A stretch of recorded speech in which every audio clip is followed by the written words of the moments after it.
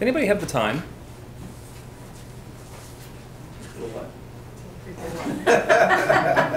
Those of you who've been around a while know there's a big clock in the back.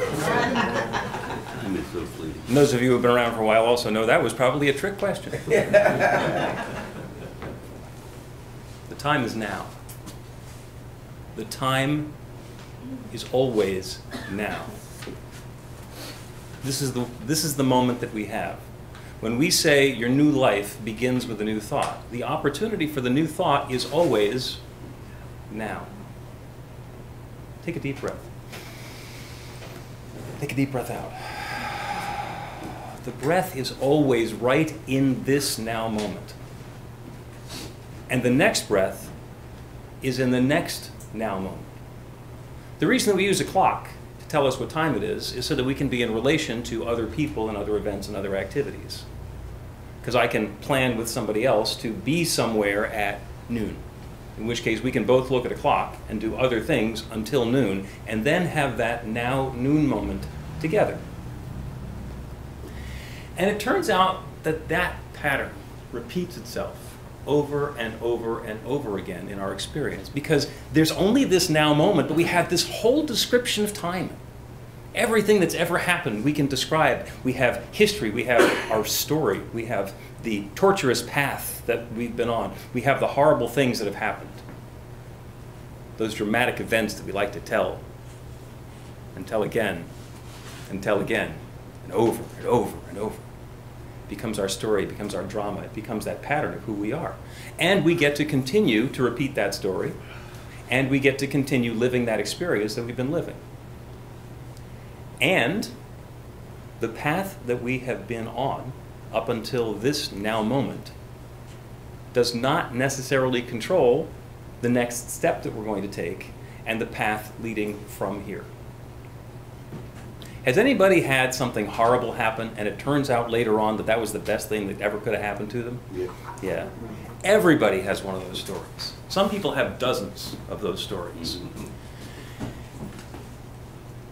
And we'd be crazy to ask for the horrible things. Oh, give me some awkward, painful, humiliating lesson that I can learn so that I can have something good happen in my life. There's a mythical story. The young one had been together with friends and family for as far back as time could remember. And suddenly the young one was ripped apart from everything, alone, thrown on the ground, beaten, shoved into the dirt, left alone and cold. That's so sad. We all have sad stories, and we can all tell those sad stories.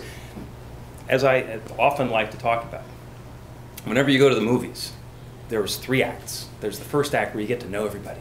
Then there's the second act where something horrible happens. And a lot of times when we get to prayer requests and doing our healing prayer work, we're in the middle of a second act where that horrible thing has happened, that, our path looks like it's headed right off a cliff. This is awful. And it's really, really difficult sometimes to understand that the third act is ready to start at any moment. The third act always starts in a now moment. We always get to tell the story in that long entirety. When we go to the movies, the end of the movie already exists before we sit down in the theater.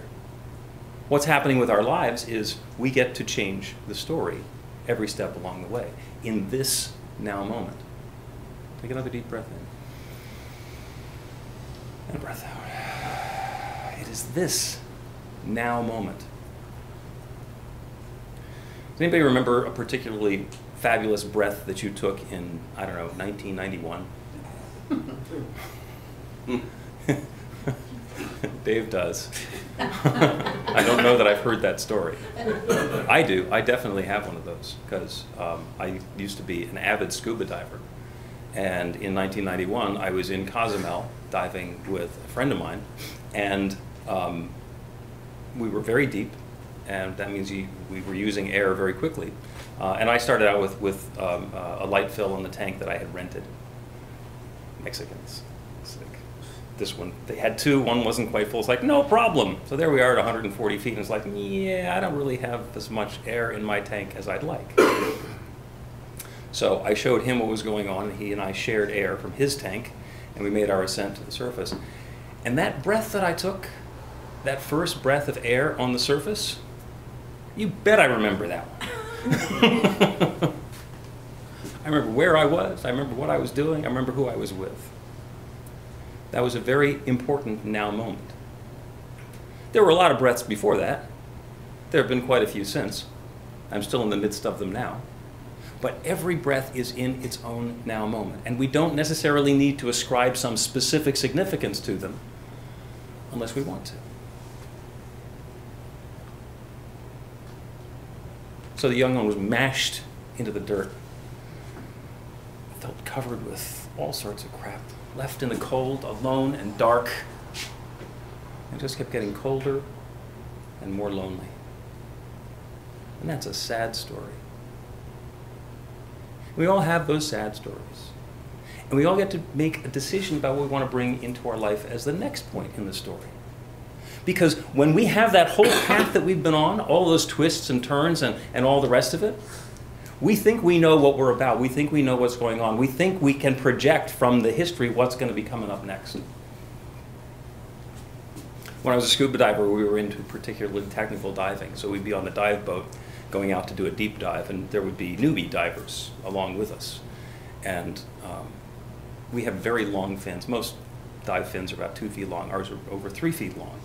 Uh, it takes a lot of leg power to kick them, but once you get used to using them, it, uh, gives you a lot of uh, control and, uh, uh, and, and, flexibility underwater. And so the newbies would say, why do you have such long fins? My friend would say, so I can swim fast. Why do you need to swim fast? Sharks. And they'd say, they'd say, you can't swim faster than a shark. And he'd say, I only need to swim faster than you.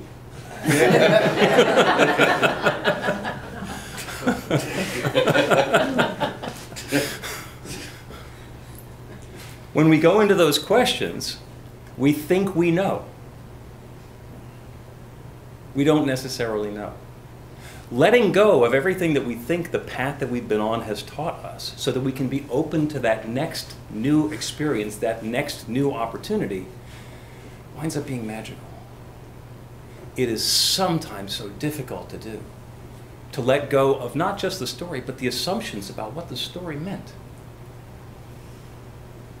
When we're in that pattern where something's been a challenge forever, it's really easy to get wrapped up in it. Our friend James Mellon says, I know nothing. Now what can I know? I think that the reason the scuba diver wants to swim faster is because he wants to be faster than the shark. I, it turns out I, there's something else to know there. What time is it? It's now. The time is right now. So I got into a conversation this week about yoga, which, uh, by the way, the entire practice of yoga is about being in the moment. The first sutra of yoga, and I think there are eight of them, uh, is now begins the practice of yoga. And the word now is atha, and it means now, and that's the first thing that they say in yoga. Anybody ever taken yoga class? Yeah, there's a whole bunch of different kinds of yoga class. There are people who do competitive team yoga.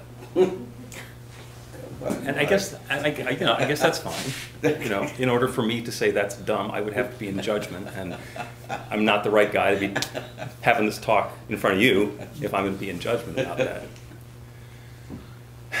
and it turns out that the yoga, um, the asanas in yoga, are all very helpful if you're just going to get some exercise. Because they are wonderful ways to put our body in a particular position. Virabhadrasana 2, Warrior 2. If anybody's ever done that. Okay? So as I'm in this pose, I'm getting a nice stretch in my left leg, and I've got a lunge going in my right leg, and I'm working on my core to keep my posture up straight. And eventually I'm going to be feeling this in my arms and shoulders. And that's yoga size. That's really, it's actually very good for me. But the whole purpose of yoga, The entire purpose of yoga is to prepare the body for meditation. It's the same thing as a body scan. We sit down and do it at the beginning of a meditation. Now begins the practice of yoga. And the whole idea is to be able to stay in this posture and not be thinking about my arms hurt, or my leg is straining, or my muscles are doing this or that. be right here, right now, and just focus on my breathing.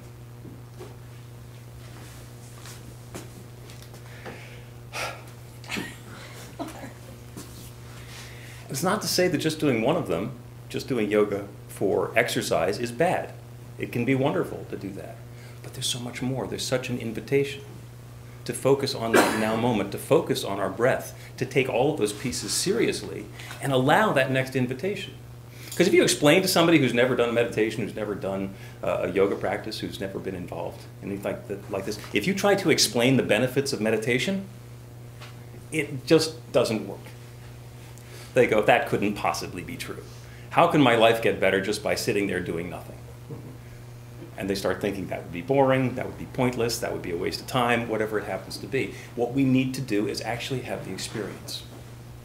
To have that now moment experience in whatever it's going to be, and allow that new experience to inform us and give us something new. Because the story that we've been telling may not be the whole story. If we don't know the whole story, it's not like we're to blame. It's just that it hasn't been revealed yet. It's one of the really powerful things about practical prayer.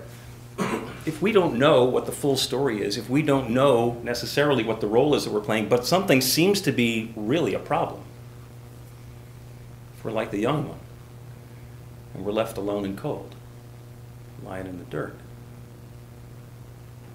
we can open ourselves to the possibility that maybe there's something bigger going on. And we don't say, This is what I want to have happen. I want to be back with my friends. What we invite in that prayer is, I am opening myself to whatever is next and good and wonderful. And this is what I want to feel like. This is what I'm inviting into my experience for what's coming next. To take this now moment and set an intention for the tone and the texture and the timbre of what I want to have in that next moment or the next period of my experience. So the end of the story is that the young one was actually a seed. It wasn't about being a seed. That experience, which was so violent and painful and cold and lonely, was that seed being planted. And of course, what happened is when the weather turned warm, the seed began to change and germinate and grow.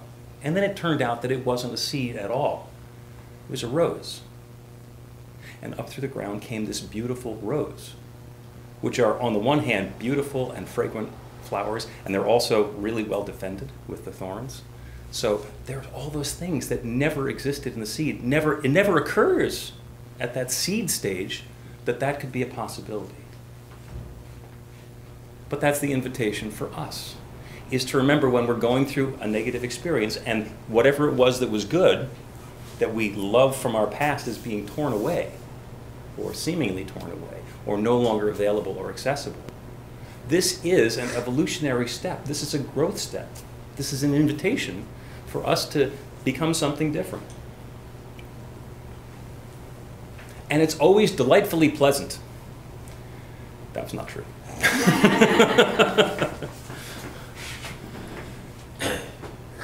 Because we like to do the stuff that we've always done. People like to get into their patterns. People like to hold on to their stuff, their positions, their whatever.